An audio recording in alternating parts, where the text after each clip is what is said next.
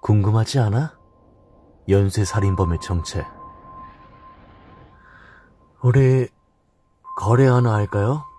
검사님. 지금 당신에게 가장 필요한 걸 내가 줄 수 있을 것 같은데. 글쎄, 애초에 살인 장면을 목격했다는 네 말을 어떻게 믿지? 내가 단순히 놈의 얼굴만 기억한다고 생각하는 모양인데, 난 놈이 누군지, 뭐 하는 새끼인지까지 이미 다 알고 있다고. 어, 그 얼마 전인가? 우연히 길에서 그 새끼를 만난 적도 있어. 물론 그 새끼 역시 이 얼굴을 기억하고 있다고. 환장을 노르시겠지. 4년 전 죽인 새끼가 멀쩡히 살아서 돌아다니고 있으니까. 수사팀의 USB로 남민수에 대한 증거를 흘린 것도 분명 그 새끼야. 수사팀에서 날 검거하게끔 놈이 함정을 판 거라고. 아, 뭐, 아, 못 믿는 거야 하는 수 없지만, 지금 급한 건 내가 아니라 수사팀 아닌가? 좋아. 놈의 정체를 알고 있다는 네 말은 믿어주지. 하지만 거래라고 하면 너도 이쪽에 원하는 조건이 있을 텐데. 어렵지 않아. 내가 놈을 잡을 수 있게 작전에 끼워주기만 하면 돼.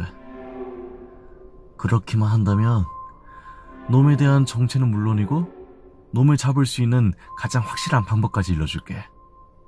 어때?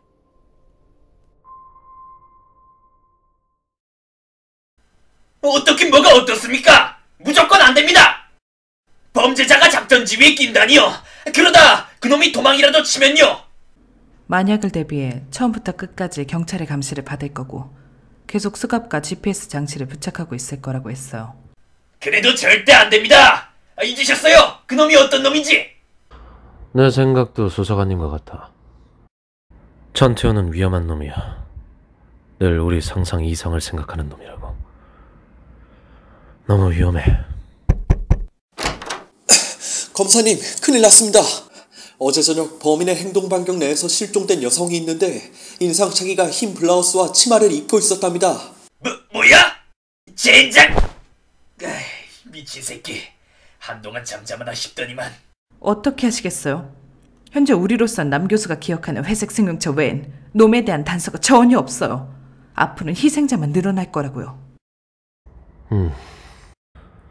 전태현을 불러와.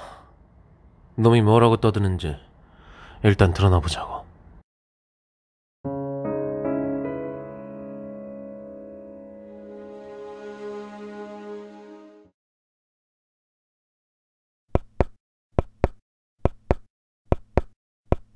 그 참 시끄럽게.